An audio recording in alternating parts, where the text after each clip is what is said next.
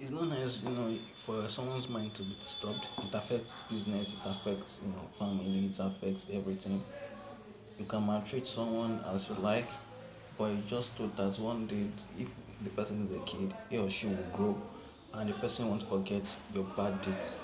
You know, this woman now, I think she doesn't have her own personal kid because it shows in her reaction, she reacts badly to this young girls and they are actually ladies. If it's even a guy, concept as a guy, if you miss your way, you know, you can hustle, you, you know, you go into the street, street is, you know, welcoming to guys, you know, you hustle in the streets, gradually, you know, you might find love and, you know, you, you know, see a couple of people that will house you, show you the way and, you know, you become, you might become great outside, you know, your family, you know, but this, this a lady, you know, little or no, little or any chances, there's opportunity that, you know, there's possibility rather that they get pregnant and this is not the kind of future they want for themselves.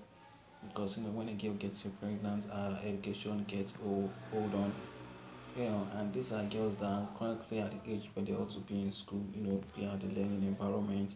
But right now they are missing you know they even they don't even know their way back they don't even know anything. I hope they find their way back. I hope these um people that kidnap them you know uh changes their mind for good and put them on the pathway to, you know, seeing their family back, you know.